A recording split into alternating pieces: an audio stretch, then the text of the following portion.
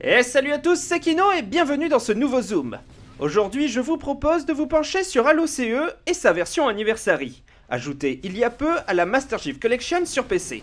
Alors, que vaut Halo CEA en 2020 C'est ce que nous allons essayer de voir ensemble. Pour répondre à cette question, j'ai essayé de parcourir internet pour récolter le plus possible d'avis, de joueurs fans et non fans, pour en tirer une conclusion la plus objective possible. Quand on parle du premier Halo, les critiques négatives les plus fréquentes proviennent de joueurs qui n'aiment pas la science-fiction. Jouer un super soldat, guidé par une intelligence artificielle, combattant des aliens, sur une structure éloignée, n'évoque rien chez eux. Mais c'est grâce à cela qu'on découvre tout le plaisir qu'ont les autres joueurs à lancer le tout premier Halo. Halo Combat Evolved, aujourd'hui revu avec sa version Anniversary, nous replonge au début d'une licence iconique dans le monde du jeu vidéo. Un jeu original qui a travaillé sur des mécaniques de jeu rares pour l'époque, comme imposer aux joueurs de ne porter que deux armes, vu dans de rares jeux comme Counter-Strike avant cela. Ou encore, comme le souligne le livre Level Up, The Guide to Great Video Game Design, qui crédite Halo CE pour avoir popularisé la vie rechargeable automatiquement dans les FPS. Halo CE comme Halo CEA nous propose une campagne solo, ainsi qu'un mode multijoueur, jouable même sur Xbox en écran partagé. Le multijoueur est très certainement le moins connu de tout l'univers Halo, ne possédant pas la possibilité de jouer en ligne sur Xbox. Pour autant, même encore maintenant, des serveurs sont encore disponibles sur les premières versions PC. Il marque la base du multijoueur Halo, des maps variées, souvent symétriques, où chaque joueur commence à armes égales. Aujourd'hui, le gameplay lassera peut-être plus rapidement que d'autres. Les joueurs utilisant souvent le Magnum disponible la plupart du temps en arme de départ nous trouvons déjà les modes de jeu les plus iconiques de Halo, du mode assassin au crâne en passant par le drapeau, sur des maps qui continuent de faire rêver les joueurs dans des remakes comme Blood Glutch.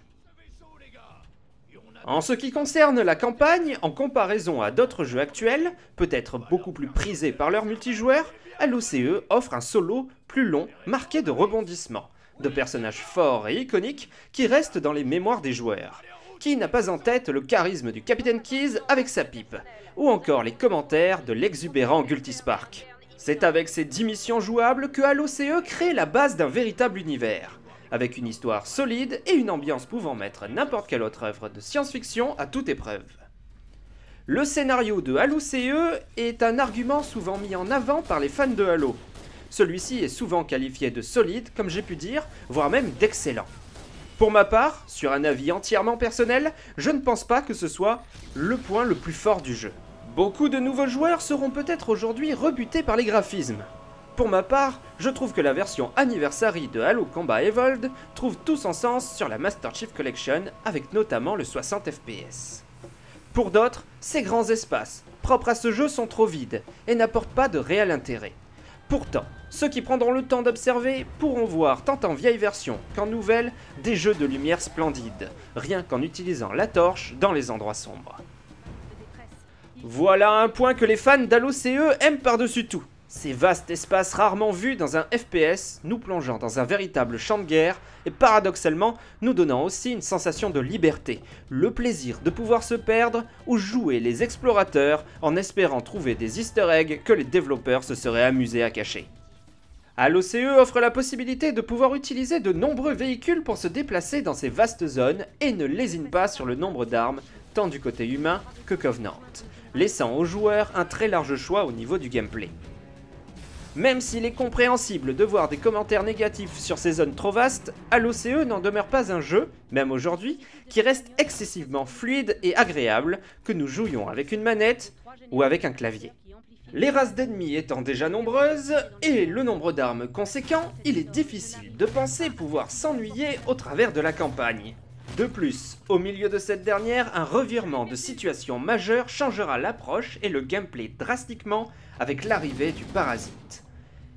Et c'est sans compter sur l'ambiance sonore, on parle ici des musiques de Martin O'Donnell, qui colleront à chaque situation et qui sont devenues, pour la plupart, les plus cultes de tout l'univers Halo. Le bruit des armes, le cri des grognards ou des élites, tant de sons qui restent au fil des années gravés dans notre esprit et nous replongent instantanément dans une nostalgie. 419 Nous nous rapprochons peut-être ici de la force même de Halo CE, mais également de la licence tout entière. Cette diversité au sein d'une même campagne. À l'image des Covenants, une alliance d'aliens variés, Halo CE fait le choix de ne pas tomber dans une case et survole habilement l'ensemble de toutes les catégories d'œuvres artistiques que nous pouvons trouver au cinéma ou dans le monde du jeu vidéo. Humour, horreur, futuriste, émotion, que manque-t-il? Nous sommes donc à ce que j'estime le point fort de Halo CE, son ambiance globale.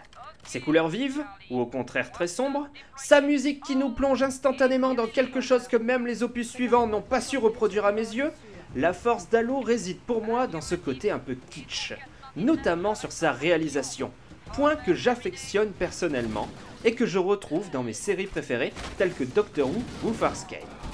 Halo parvint clairement à mélanger avec art des notions pourtant opposées dans un environnement atypique. Mais surtout, nous nous amusons avec nos personnages, nous avons peur ensemble et nous sommes tristes ensemble. Ce mélange de sensations, d'émotions ajoutées à cette sensation de liberté, à ces musiques riches ou à des cris d'aliens iconiques, donne un mélange qui nous attache d'une étrange façon à ce jeu que je qualifierais de magique. La campagne de Halo CE pourrait être refaite maintes et maintes fois, offrant un large panel de difficultés avec un mode légendaire qui fera rager bon nombre de joueurs. Les plus téméraires iront affronter les Covenants en L2K, avec tous les crânes activés grâce à la Master Chief Collection. Alors, Halo CE a-t-il vieilli? Graphiquement, indéniablement. Mais sa version Anniversary lui donnera une nouvelle naissance et permettra de retourner rêver sur ses dunes d'herbe ou ses zones enneigées, offrant même la possibilité aux premiers fans de pouvoir continuer le rêve en sautant in-game entre les anciens et les nouveaux graphismes. Halo CEA étant le premier jeu à avoir offert cette possibilité. Non, il n'a pas vieilli, car encore aujourd'hui, le gameplay de ce jeu reste original. Il est devenu un icône du jeu vidéo au même titre que la licence. Sa mission, le cartographe silencieux, étant encore une des missions préférées des joueurs, tout Halo confondu. Nous avons tous une bonne raison de relancer ce premier opus. Halo CE est pour certains le meilleur Halo, pour ma part, si je ne devais qualifier Halo CEA avec un seul mot, ce serait magique. Et vous, que pensez-vous de ce jeu? N'hésitez pas à en parler en commentaire. J'espère vite vous retrouver sur le groupe Facebook Halo.fr ou le Discord pour continuer à échanger sur l'univers d'Halo en attendant Halo Infinite. A très vite pour une toute nouvelle vidéo. Salut à tous et vive Halo